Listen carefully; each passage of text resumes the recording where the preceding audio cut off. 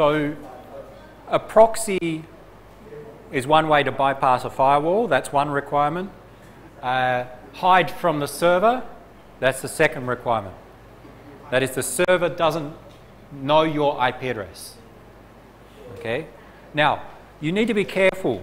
A server can identify you based upon your IP address, like in the logs, whoever ac accesses it. But also many websites can identify you from other, other ways. Of course, if you log into the website, they identify you. Okay, so if you use cookies and you've visited that website before, I don't know how cookies will work with a proxy, but it's possible, depending upon the website, that the website can still identify you. So if you want to hide yourself from the website, a proxy is a, is a basic method, but it's not, uh, not always, it will not always work. But it allows you to hide from others who may be trying to see who you're communicating with. Because what do others see? Anyone here sees that you're communicating with a proxy. Anyone here sees the proxy communicating with a server. So they cannot see that you're communicating with a server.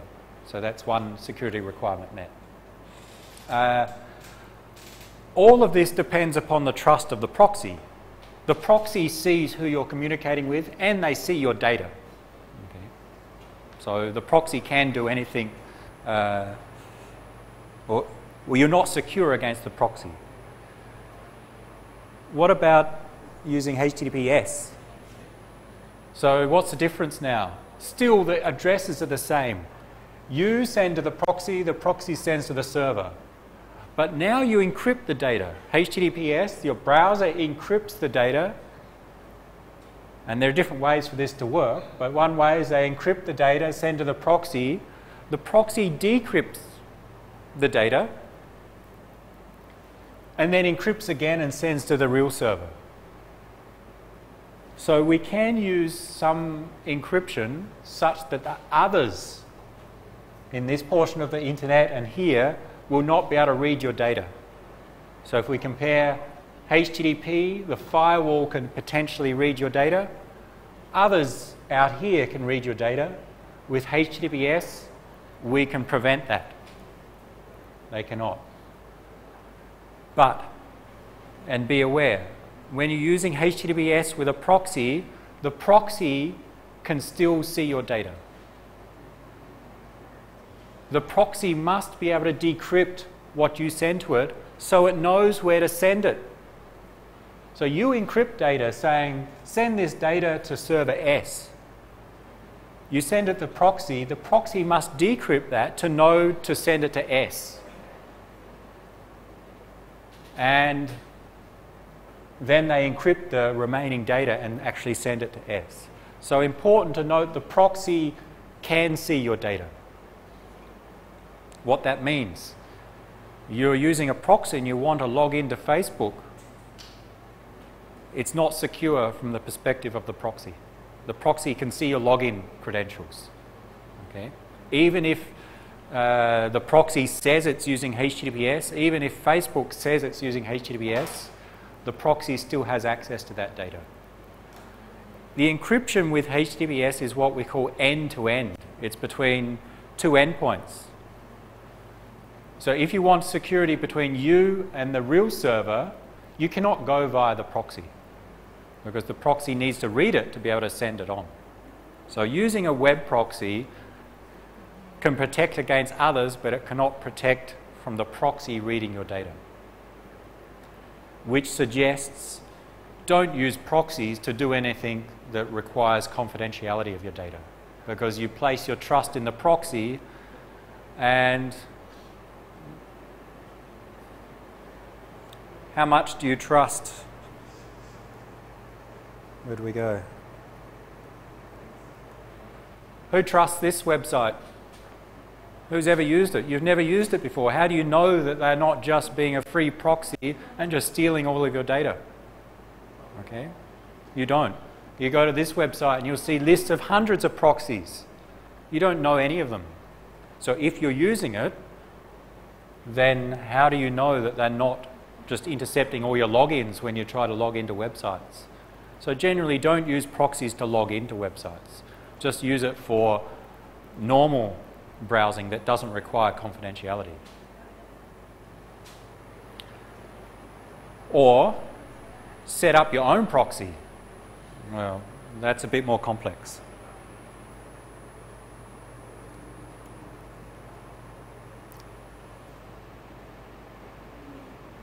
So, how can we get around that? Well, we'll look at another approach VPNs, virtual private networks. Who's used one? A VPN. Hmm, okay, so we'll, we'll use one in a moment. There are different ways to do it, but, uh, or let's explain the concepts. A VPN, we'll see it uses encryption. It uh, encrypts your data between two points. Normally, when you use the internet, unless you use a specific option like HTTPS, normally you use HTTP and there's no encryption. You send an email, no encryption. Okay? VPNs provide encryption by default uh, between two points in the internet. And they use a concept called tunneling. Let's see if we can explain it in a simplistic uh, approach.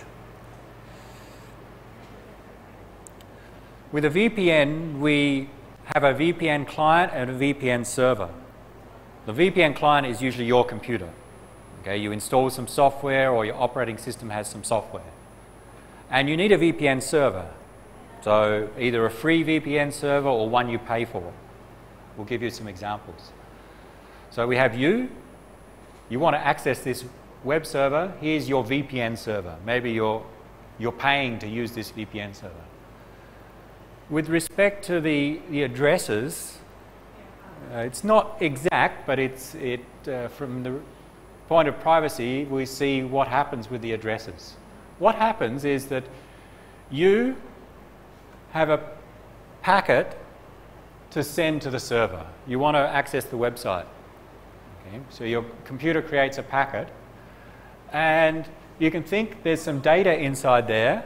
The destination is S, and the VPN software on your computer sets the source to V, where V identifies the VPN server, not you. And I put the lines through this to say all of this is encrypted.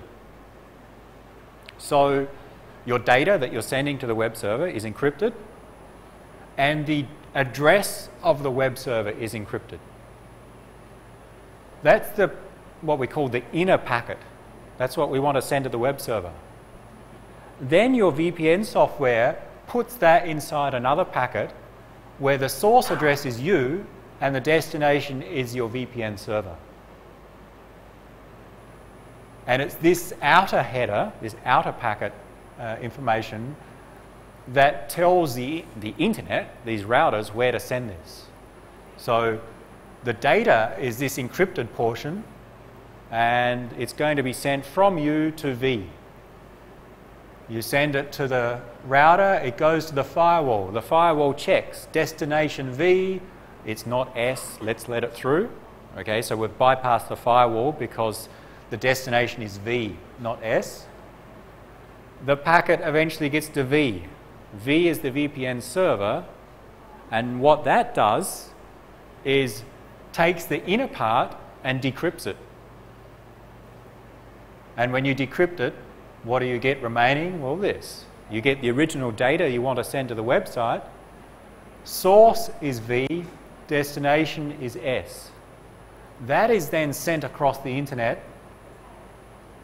The server receives it. The server, the website, thinks, ah, here's a request for a web page from the VPN server, sends back a reply to the VPN server, which will then encrypt again and send it back to you allowing you to see the content.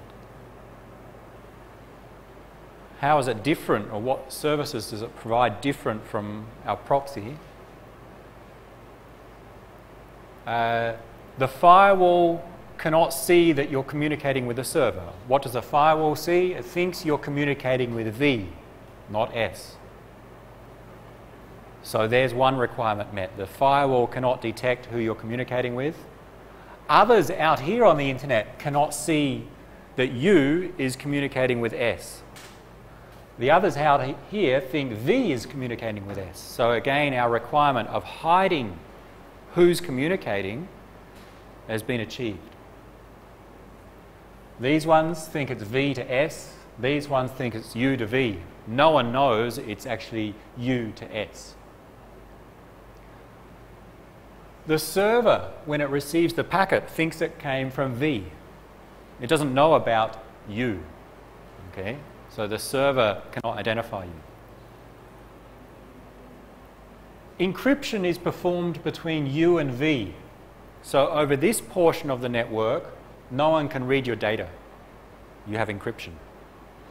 But from V to S, there's no encryption. Therefore, someone here can still read your data. So don't use it for confidential data. The VPN can still read your data. Okay, the VPN can read your data and knows that you're communicating with S. Okay? So you can't hide it from the VPN. They know it's you talking to S, but others do not. So we're getting there in terms of achieving this full privacy and confidentiality that now we still have a problem that these ones can see your data and we also rely on the VPN server. Who has a VPN server? Well, the question more is who has a, a server out on the internet, a computer on the internet? Uh, sorry? No, not, not Dropbox, uh, although different things you can achieve with that. Maybe a, a, a hosting server, uh, an Amazon instance, uh, like uh, you pay usually per, per month to access a server. Okay. Yeah, or you have one in, in another location, uh, so you can usually use them as a VPN server. So usually outside of your network, your normal network. Okay. Often they require paying. Okay? You, you pay per month to, to use some, some other computer. And that can act quite easily as a VPN server. Uh, how do we, well, go direct to it. HTTPS, same, except now we have our data encrypted between you and the server. Your browser encrypts the data, the VPN software encrypts the data plus this inner header. When the data arrives at the VPN server, it's still encrypted. HTTPS encrypted it. The VPN server cannot read the data. Others on this portion of the internet between V and S cannot read the data. So this is much better in that no one can read your data, no one knows, or the intermediate nodes except the VPN server know who you're communicating with. So we've got this privacy of actions.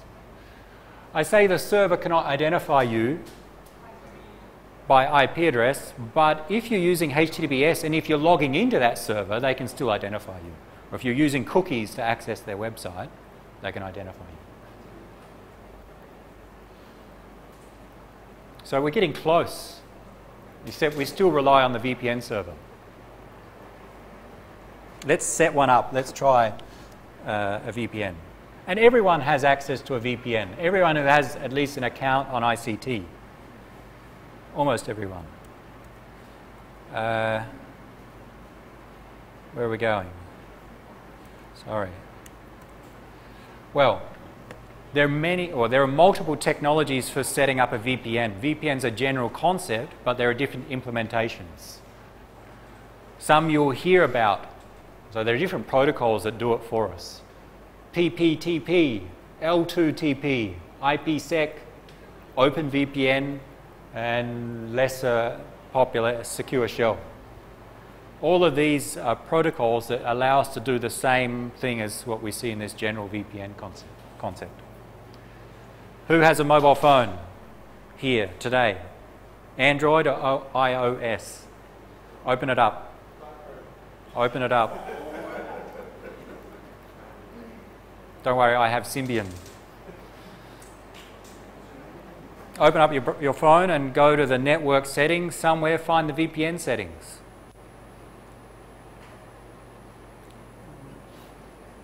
Should work on both. So I, I can't remember the exact settings, but uh, you, you can find it.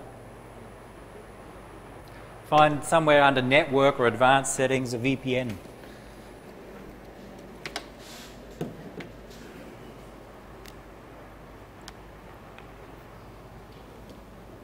And you should find that you can select from different VPN technologies.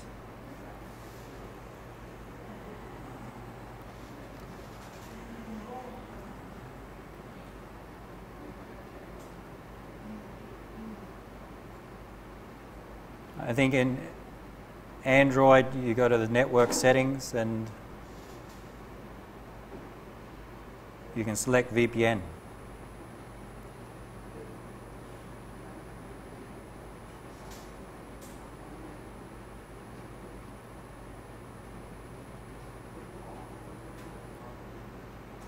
And you can add a VPN network. And in Android, at least, and I think iOS is about the same, we cannot see it, but there are different types of VPNs. You should see, if you see the VPN set settings, you'll see types of PPTP, IPsec, and L2TP, and some variations upon them. Can you find them? So that's saying you can use different VPN settings or different types of VPNs. Of course, to set that up on your mobile phone, you need a VPN server.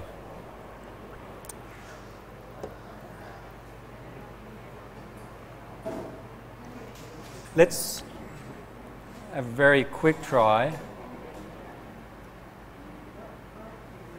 If you go on your laptop to vpnbook.com, you'll find they provide a free VPN server.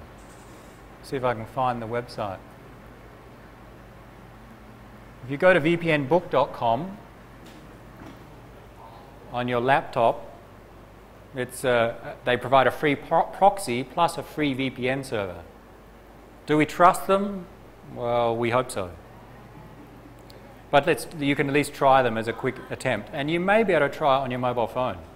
With the exception, if you do this within SIIT, I think SIIT blocks P these VPN software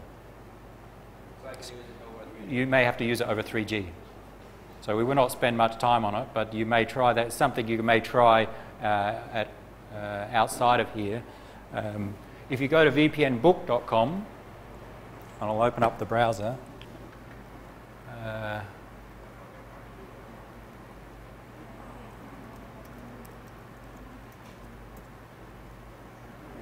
and you if you scroll down, you'll see down here free OpenVPN and PPTP VPN. Select PPTP. And I haven't tried this, so I don't know if this one will work. You may attempt. So when you set up a VPN, you need the address of the VPN server. And this company or this organization provides several in, in Europe, in UK, and in, in the US. You can select any one. I think in your mobile phone, you select one of these as the VPN server address. If you, and you need a username and password, and it's here.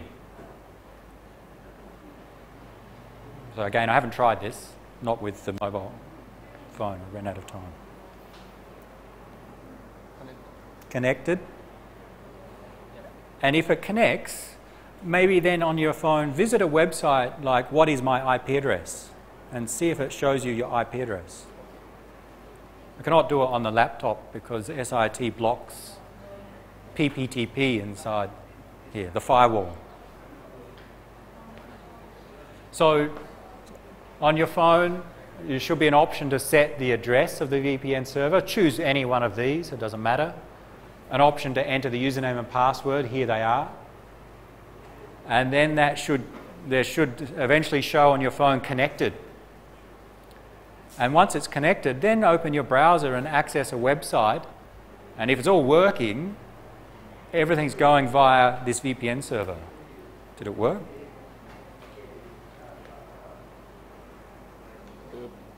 Okay.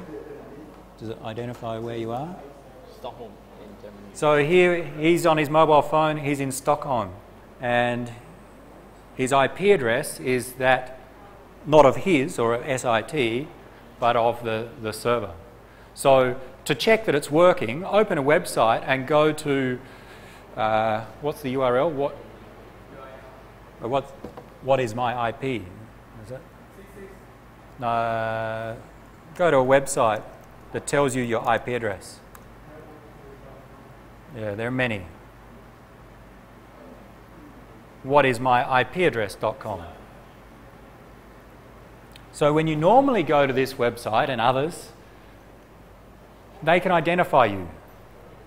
This is just a website that tells you who is, what is your source address. Well, it identifies me as being at Thammasat University with this IP address. Well, there's network address translation going on here that it cannot identify it's Steve's laptop, but it can identify I'm in Thammasat, which is not good from a privacy perspective. Then, if you've got your VPN set up on your mobile phone, go to this website and see what it identifies you as.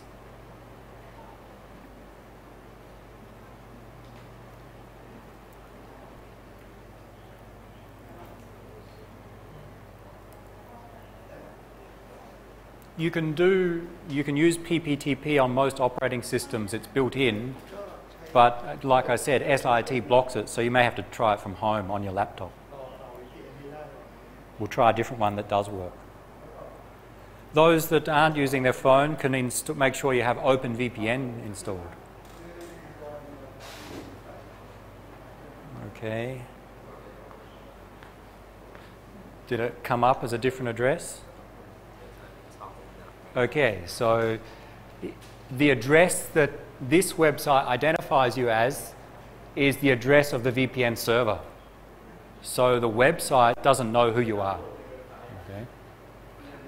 What is my IP address.com? Just to, as a test.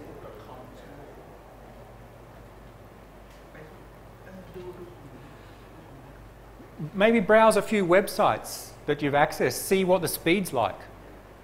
Okay, while you have the VPN connected, just visit one or two websites that you commonly use on your mobile phone and, and see if you can tell if there's a difference in the speed. That is, is, is there a long delay or not? Sometimes there may be.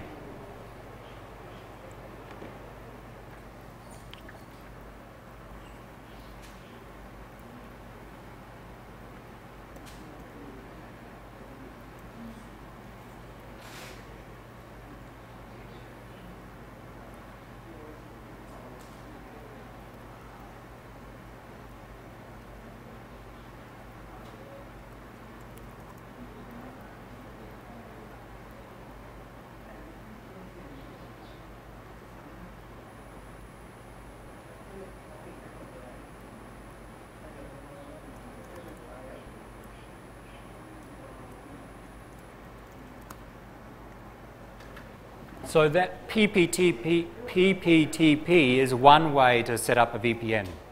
VPN Book is just a free VPN server.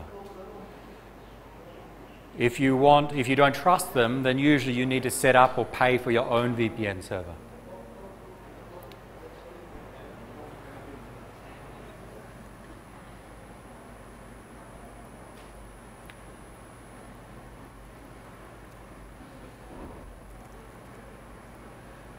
Let's try another one, which you can do on your laptop. It's using Secure Shell. So if you're using Windows, you need to have PuTTY installed. And it was on the website. Who has it? If you're using OS X or Linux, you can use the command line for this. So on your laptop, if you want to follow along, you need uh, a secure shell client. I don't have Windows. Uh,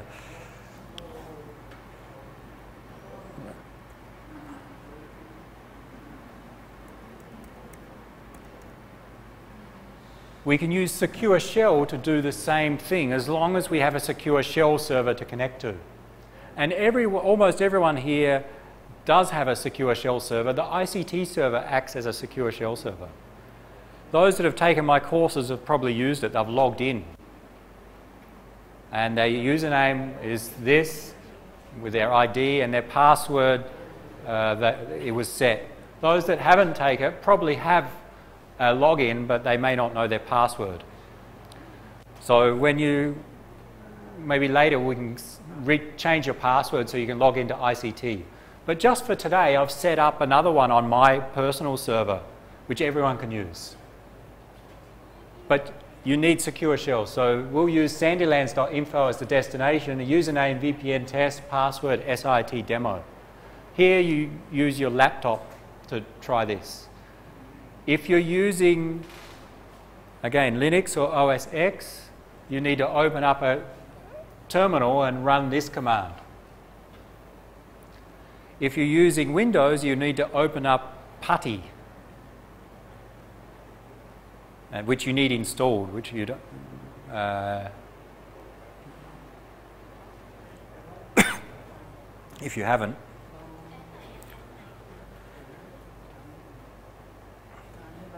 This is just the first step.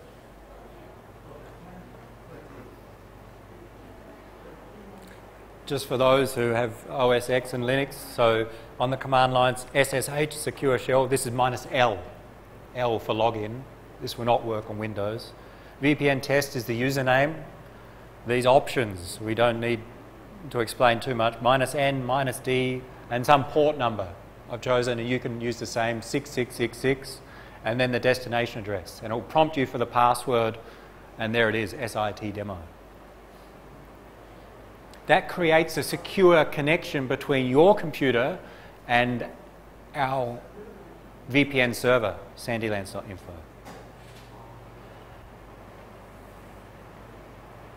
And on Windows, I don't have the screenshot, uh, but who has PuTTY installed. Yeah? If you do, if you don't, you can go to the ICT website that we had before and, and download, and it's a quick install. I'll go back to it. If you do, sorry, flicking through, I can't find my web browser. If you don't have it installed yet, it's here under tilde S Gordon VPN test and you can install it. It's just a 2 megabyte file. Once installed, then you look for there's some configuration options, some, some menu configuration, and then there's look for connection, SSH tunnels, and you should see these options of source port, destination, and, and forwarding. Did it log in? SIIT demo. The password, the username is VPN test, the password is SIIT demo. Simple. Did it log in?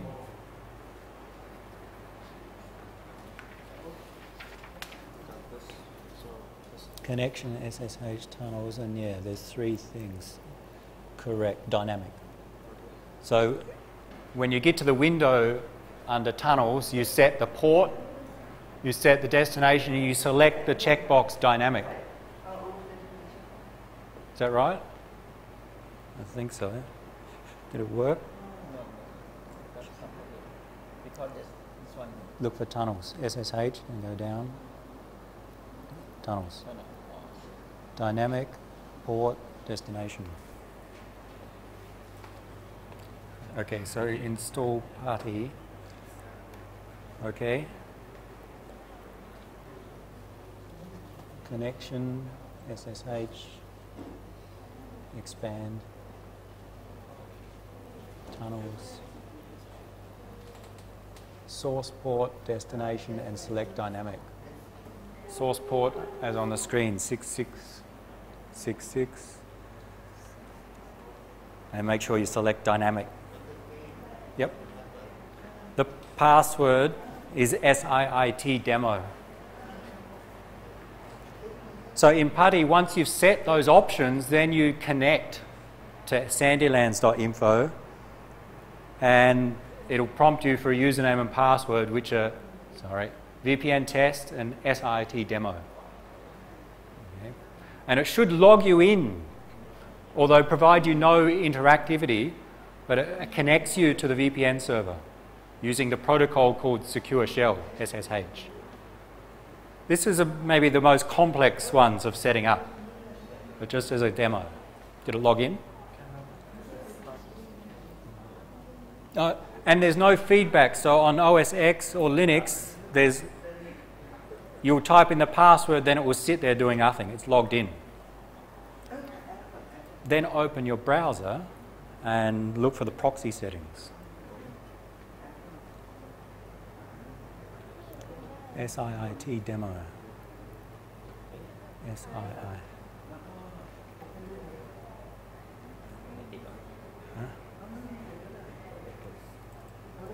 No, it's typing. Sorry. Try again. Press enter. Enter. It, it just doesn't show you what it's typing, so it is typing. So you may have to close and start again.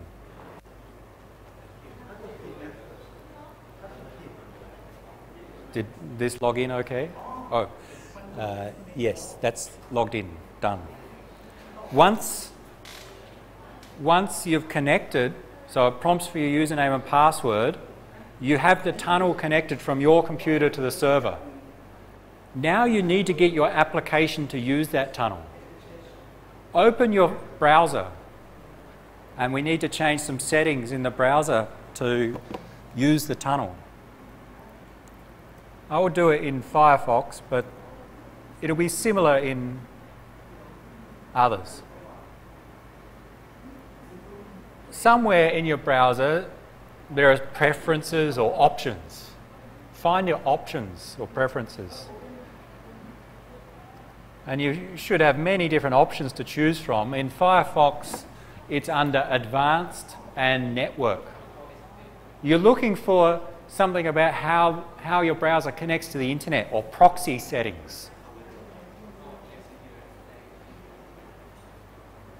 It will be different in all browsers, but it should exist. Okay. So you find your browser settings which to do with proxy or how it connects to the internet. And there, so in my case it says choose a proxy and I need a manual configuration. You want to set the SOCKS proxy. Make sure all the others are empty. Set the SOCKS, the host to local host, and the port to the one that you set before, 6666. Again, it will look different in different browsers, but I think you need to look for SOCKS. Did you find your SOCKS?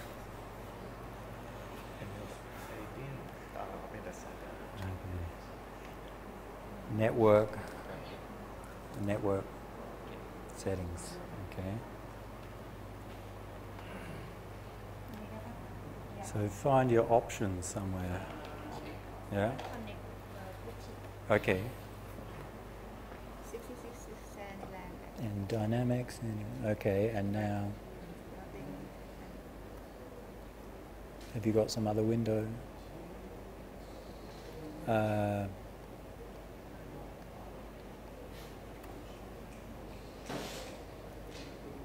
What happens when you press open? Nothing. Go to session. Ah, select that host name here, Sandilands. Sa- sandilands.info.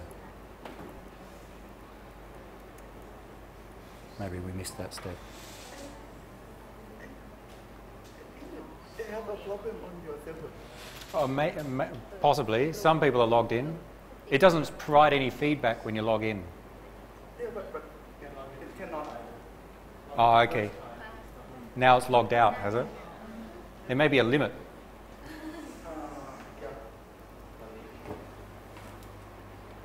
Is anyone still logged in? Okay. All right. We may have a problem. Too many people logged in. One last test.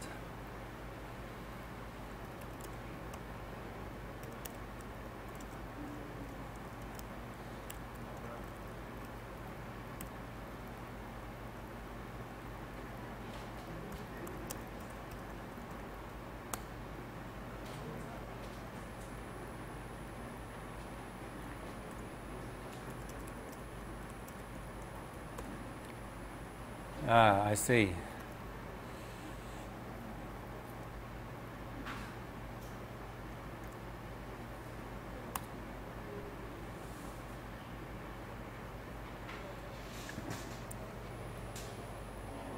I think everyone's having the same problem that some people logged in, but now the, it's disconnecting.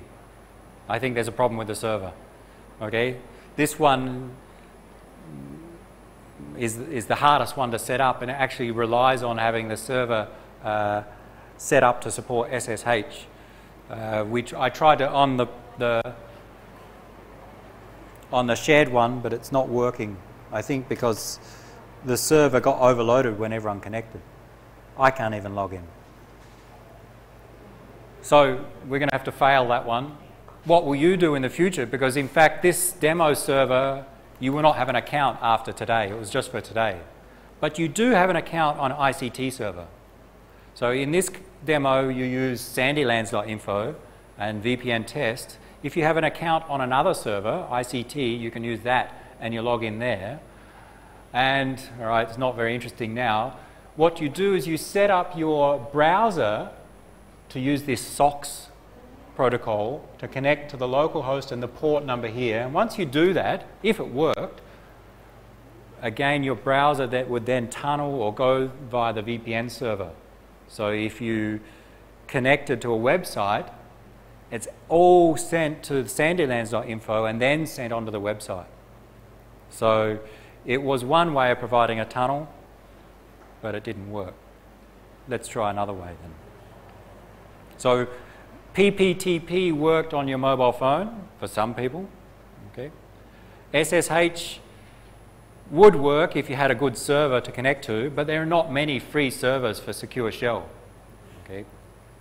You're lucky in ICT, you can use that in the future. Let's try the last one for a VPN.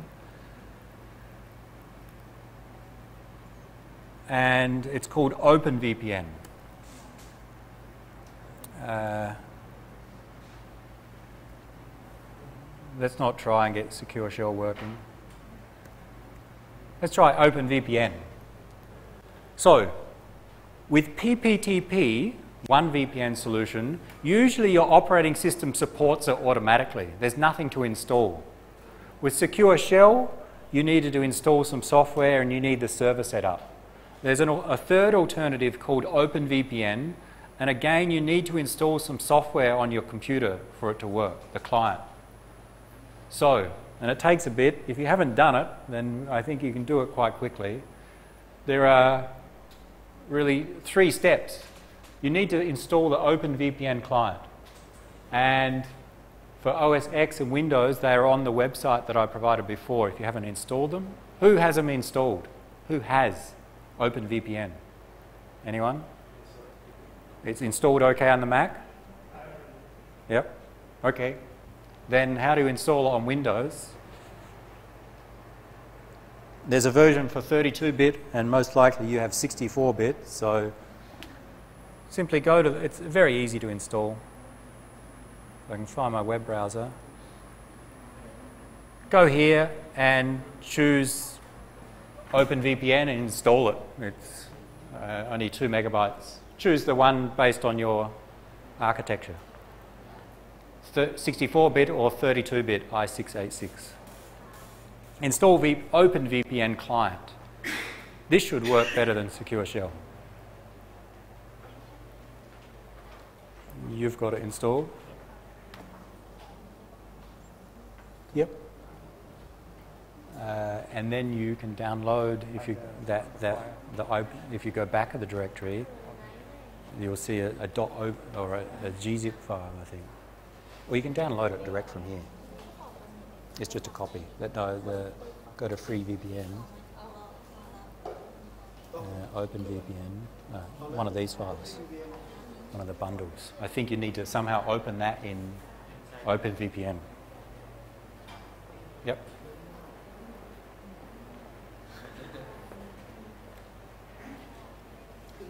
installed. Once OpenVPN is installed, then you go to vpnbook.com, the website, and find the OpenVPN option and download one of their bundles. You'll see it there. So this is this is one to run on the Linux. You've installed it? No, I just download the package. Mm. You need to compile it. I think you just need to install it. sudo type sudo apt-get install OpenVPN. I'll show you.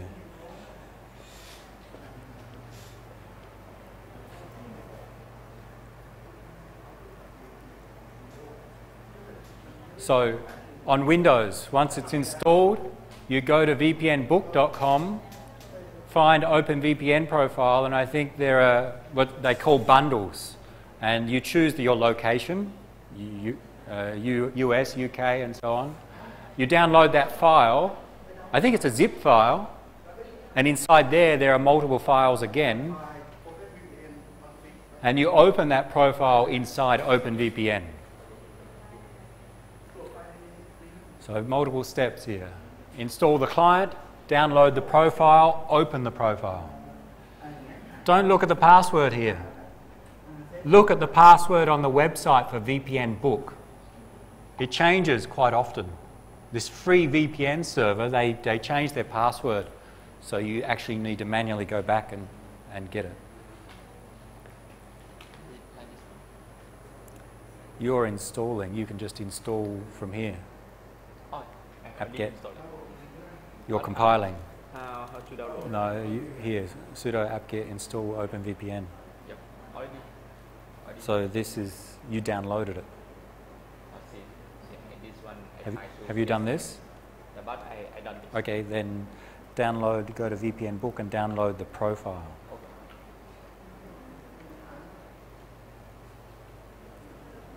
Down, you- if, yeah, choose the profile that you want. Uh, this is, this is uh, buys his VPN. You can use his or you can use, if you go to vpnbook.com, they have some profiles that you can use. You don't use, need this one. Go to the website and you'll, you'll find the files to download. Works?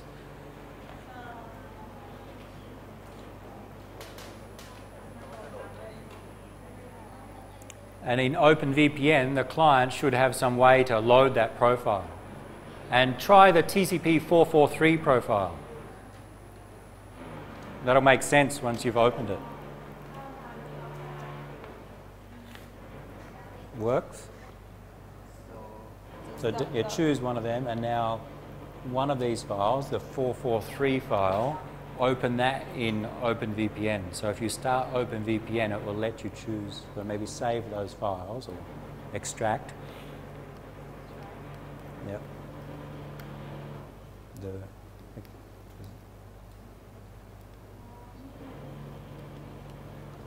um, there are four different ones. One of them finishes with TCP 443. Choose that, that one.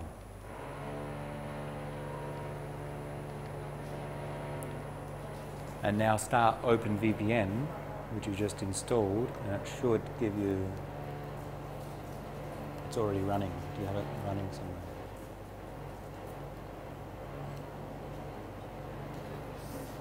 Uh, no. Close this. Just double click extract as file. Yeah, double click to extract, and then the profile needs to be loaded in OpenVPN. Is it running somewhere? Oh, maybe the taskbar. Yeah. Okay. Mm, Is it somewhere down here? I don't know the icon.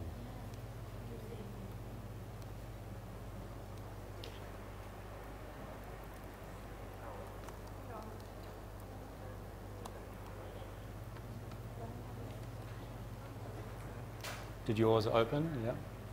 And you need to load. So you've downloaded the file, uh, extracted, and then open that profile. Ah, yeah.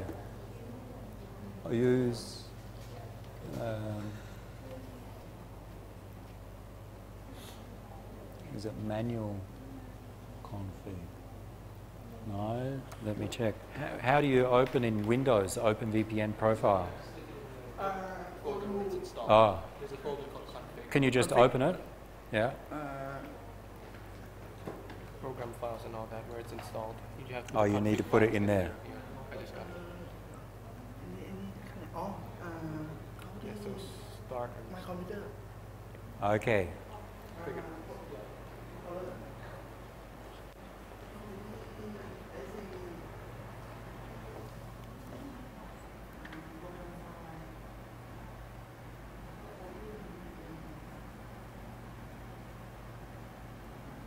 It's a bit more complicated than we hoped on Windows.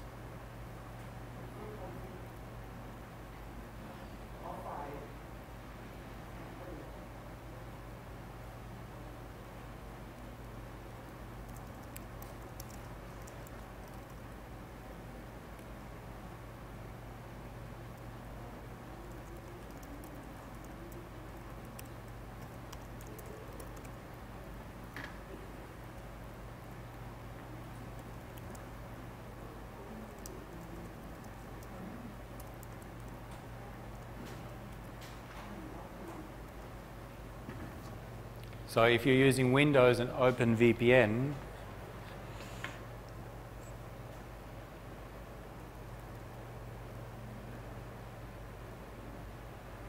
the, the last step, which I didn't show, is that you downloaded this profile or bundle. In there, you extract it and copy those files, I think, into this directory.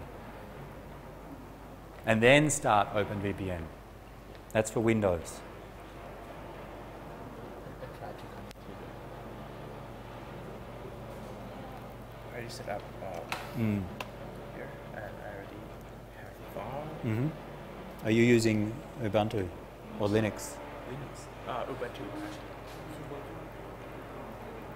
That one was easy, I think, on, on, the, op- on the VPN book website.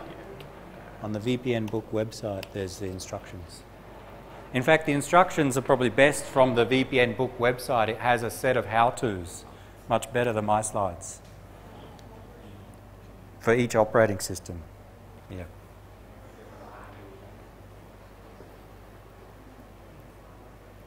Did it work? Yeah, it's Okay. Okay, so someone's got it working on Windows. It, but it's not working very well. It's very slow. but it's not working very well in that it's slow. Good point. Go to the VPN book website. Uh, let's just. Wow.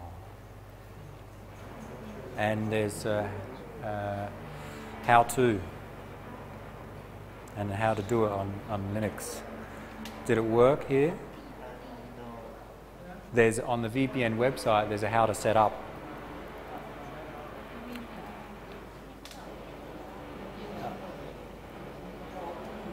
Okay, it's working.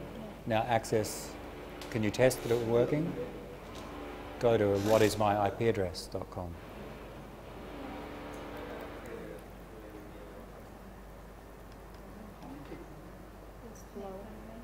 Hmm. You'll know it's working when your web browsing is very slow.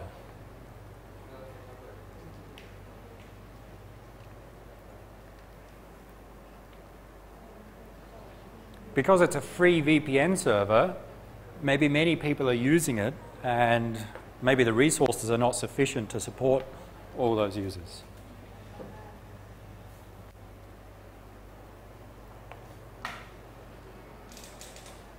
Yeah, try that.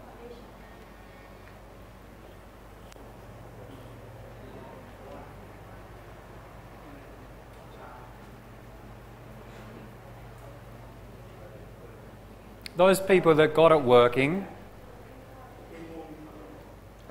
may want to try and install and use the Tor browser bundle. That's maybe the easiest of all of them to install. Download, extract. So if you've got your OpenVPN working, we'll look at a, a final option.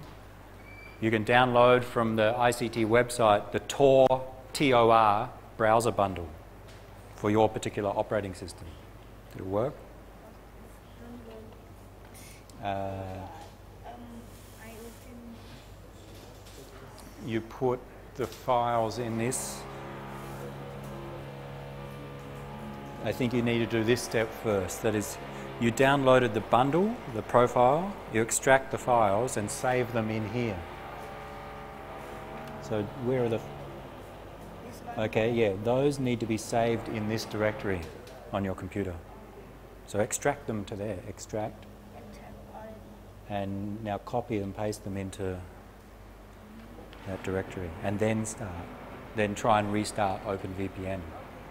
Try.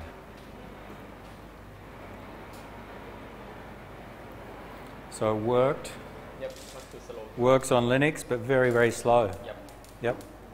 Sometimes using a different server. Which one did you use? US, UK? US. Okay. Sometimes a different server. Maybe less loaded. Romania, Sorry? Uh, it says that from Romania. From Romania. Yeah. So you got the Europe one. Those two worked. Works. OpenVPN. Yep. So Good. it's Basically the VPN. What- Yeah, What's the it- difference between uh, The, So PP and TP. just different techniques for all providing a VPN. Okay. Okay. You get the same result. You get the same service. You get the same, yeah, the same level of security. Uh, just you know, with PPTP, it was already on your Android phone or on your phone. It's already available. It's already in, in Windows. PPTP is installed and ready, so it's much easier to use. OpenVPN, uh, you need to install software. So they're the main differences. The the co- convenience. We'll look at a little bit at the end, uh, compare each of them. Uh, but basically, it's depends on what computer you're using, mobile versus laptop. Um, yeah, there's there's not much difference. Okay, we'll see who else gets going. I think it's better to use my voice. It's more faster to use my. Oh, it's not that. That's the point. To see it slow is important because uh, that's one of the problems with VPNs, especially free ones. If you've got it working, and I see a, a few people have got OpenVPN working, the last one may be to download and install the Tor browser bundle. Should be the easiest of all.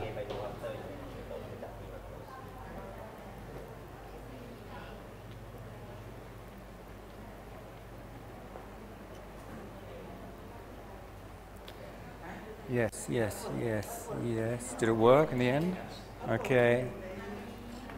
The password's on the on the website.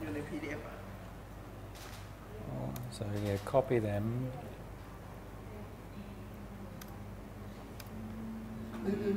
If you copy them into this directory, then open. I think you need to start open VPN. Yep.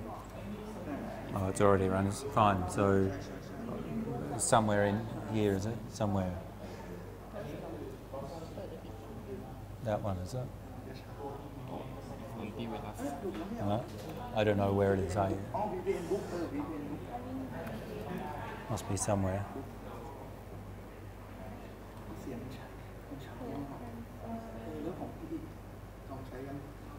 Right? It's not here.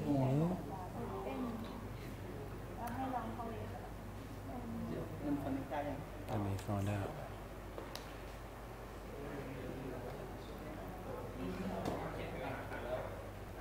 Try Tor, T O R. Did you find it? Uh, okay, oh, install.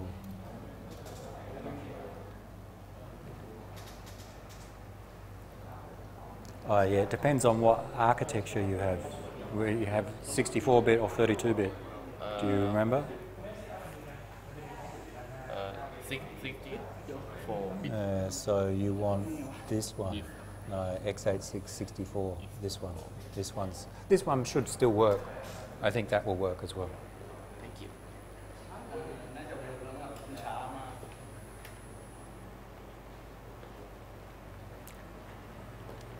The last task.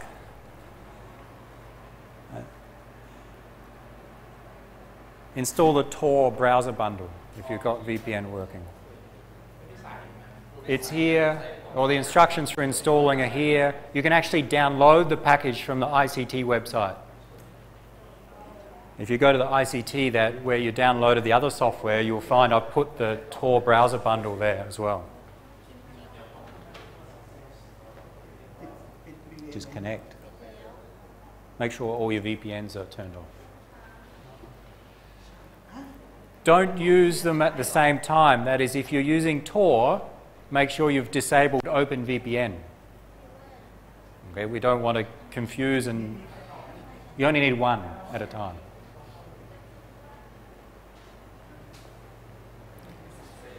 Tor browser bundle installs all the setup and provides you a browser as well.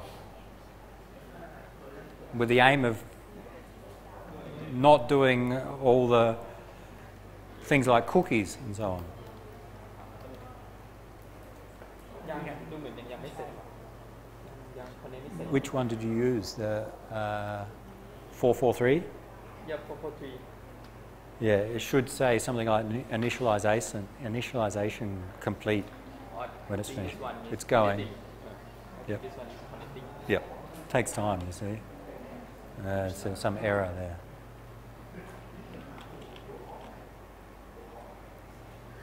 You may want to try a different destination. And the username is on VPN Book. If you go to the website for VPN Book, the username is VPN Book. The password is this one. It's H2. Try. Try Tor. I think if you go to ICT, you can download it and then.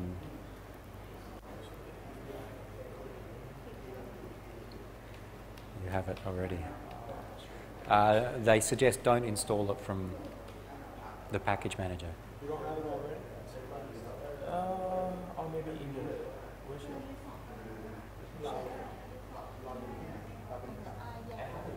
Takes some time to connect. You see, it's connecting. Hmm. You have to wait a bit. To, it, it's a free VPN server, so there may be many people using it. If you really want good performance, you need to pay.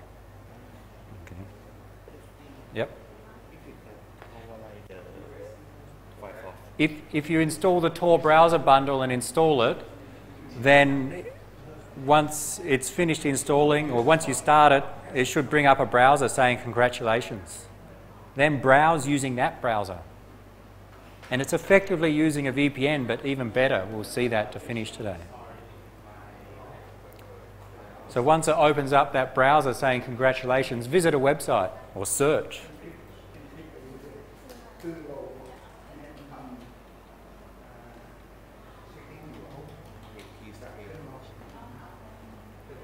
Maybe what is my IP address via the Tor browser?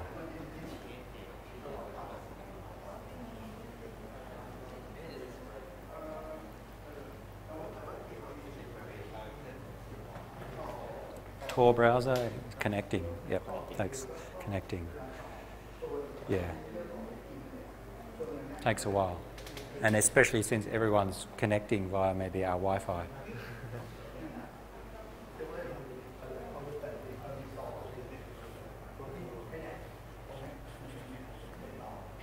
So I think people to install Tor, it's quite easy and it takes a while to connect. Once it's connected, then you should be okay. Your uh, OpenVPN worked before? oh, no no just better Did it work before? It's never worked. no no Did you install from the package sudo apt-get? sudo open open VPN Yeah. Okay. Ah, yeah, yeah. Try the command with sudo.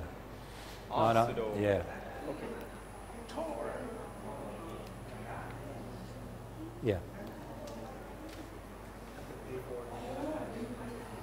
Hmm? You have to pay for it for the iPad. yes Tor. They don't have Tor, so people make uh, other browsers that connect to Tor. There you go. Write an application that does it. You use it for free if, Yeah. if you break Yeah. your protection in your Yeah, if I, if I in your jailbreak, iPad yeah jailbreak How'd it go? to determine, yeah, the speed test would be interesting. It should be very slow. Mm, yeah, I think if you. I forgot with yeah, Ubuntu you need to run it as sudo. Let's see if it connects. Tor worked? Yeah. Fast or slow? slow Faster than, v, than OpenVPN? Maybe. It depends on the servers. It depends on many things. Who connected with Tor? Hands up. Yes. Tor. Did it connect eventually? Still connecting. Why is it so slow? You sure you don't have a firewall or anything? Or uh, I, I think it takes a long time. It should present a warning if the firewall blocks it. It eventually connected, Sam? Yep. And it worked? Yep. Now we'll just. Uh, yeah, you can't. You must use the. Yeah, okay. Should be slow. Oh well, it, it possibly will be slow. randomly connect to one of the server that in the database. Yeah, almost random. Yep. Okay, so some success, some not. SSH didn't work, but that's just the server. I think if in the future you wanted to use it, you could. OpenVPN worked for some people, for most people. Uh, very slow. Tor is maybe the easiest. You just download and install. There's not much to set up. Speed may be an issue. Let's in the, I'll just try and summarize what we've done about those and when we'll finish and then we can come back to any software if we need. And talk about the difference between them all. So, web proxy, you just visit a website and that forwards your data to the real server. VPNs, you create a secure connection to a special VPN server which then forwards the data to the real server. There are different ways to set up a VPN. We tried SSH, it didn't work. But we may try again one day and I'm sure we'll get it to work, okay, on a different server. We tried OpenVPN as an alternative and it worked for some of you, okay, using the free VPNBook. But Note the VPNBook is just one of the many free VPN servers. You'll find that it's quite slow. If you want good performance, you usually need to pay for access to a VPN server. Okay, maybe a few dollars a month. On the mobile phone, we tried PPTP, and it worked. There are others, IPsec, L2TP, just different ways to set up a VPN. We'll look at the, we'll compare them in a moment.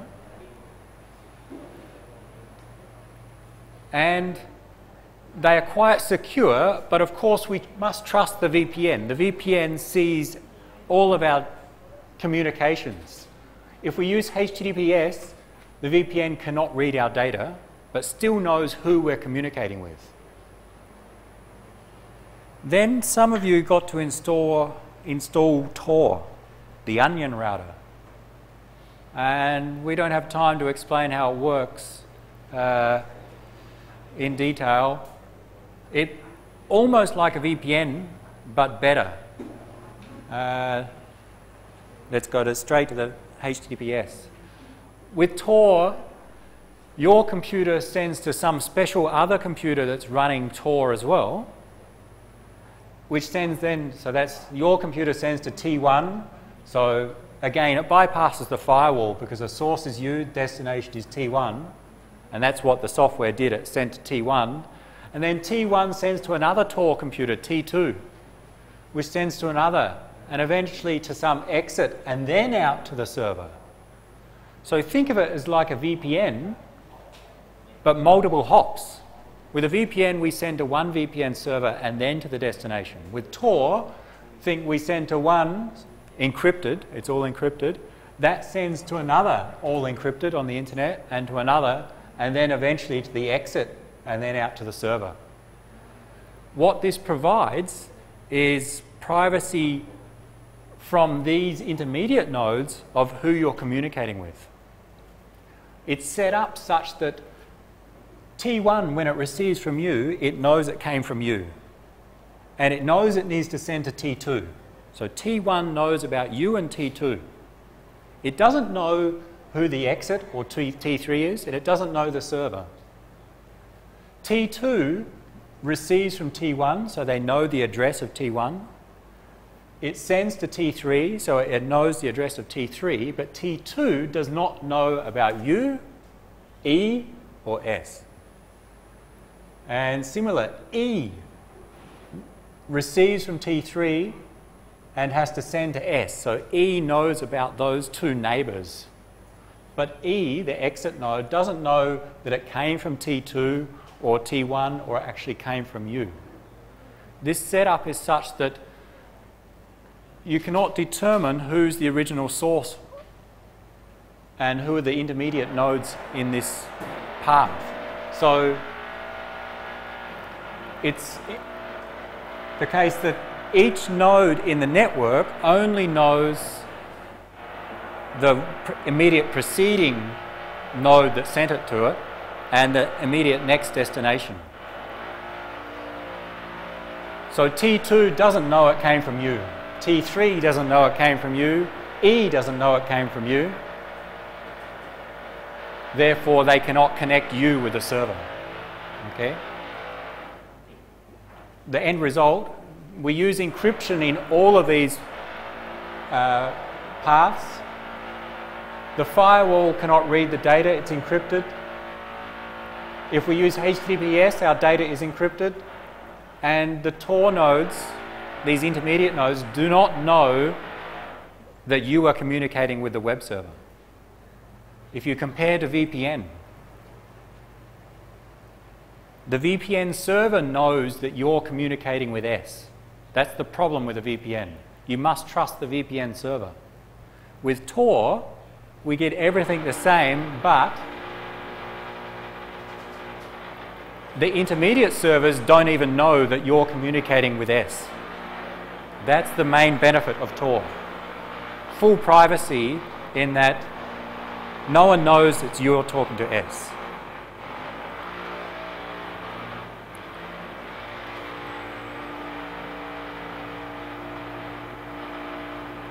To finish, many different ones for a VPN. So we there's SSH, OpenVPN, PPTP, L2TP.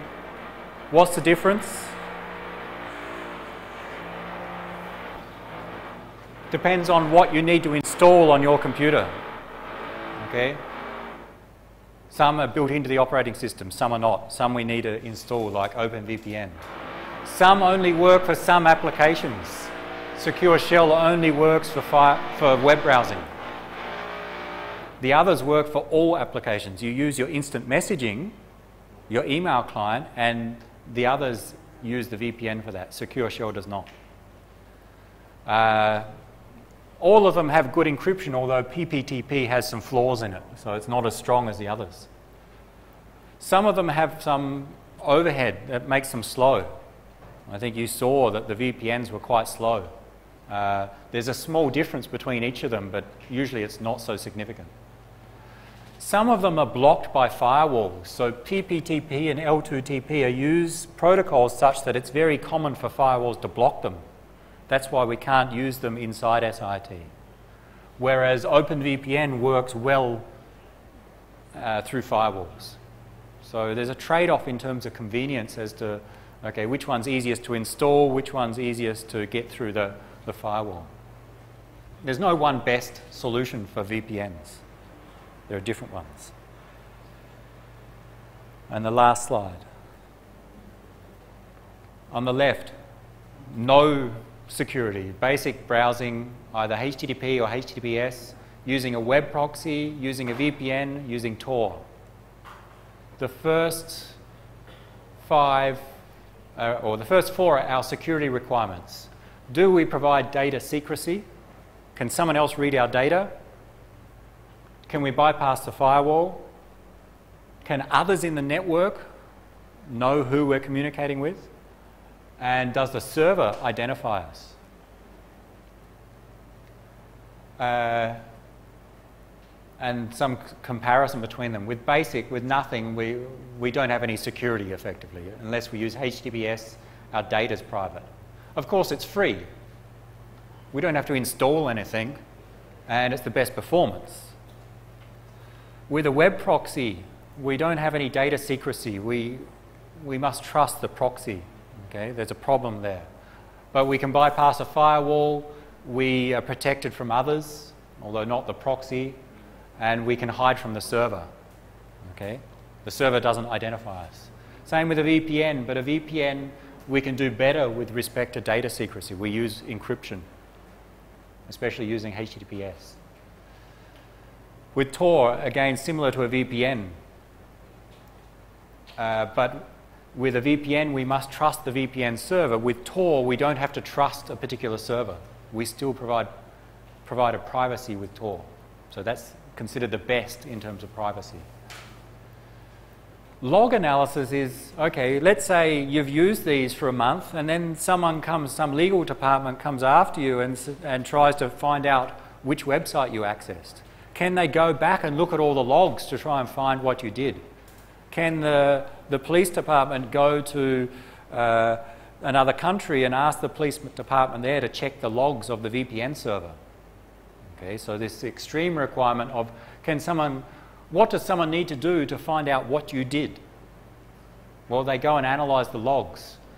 With normal web browsing, they either ask the internet service provider or ask the web server, and they provide the logs, and then they find out you accessed it. With a proxy, they either ask the ISP or server or they ask, ask the proxy server. Okay? If they have power over the proxy server, they can do that. With a VPN, similar. With Tor, well, there's no good ways for someone to track what you've done. Okay? So with Tor, with respect to privacy, it's the best. It's very hard for someone to even analyze the logs to see who you're communicated with.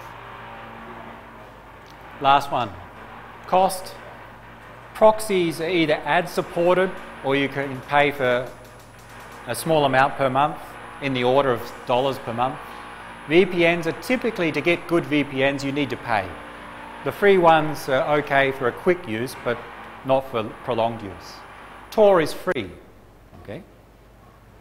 It uses everyone else's computers to go via. Which one's easier to install? Well, you tried it, so you can compare which one's easier to set up. Performance? Well, proxy usually okay, VPN depends upon where the servers are. Tor is usually the worst. May not, maybe not today, but in general, is usually the worst in terms of performance. Okay.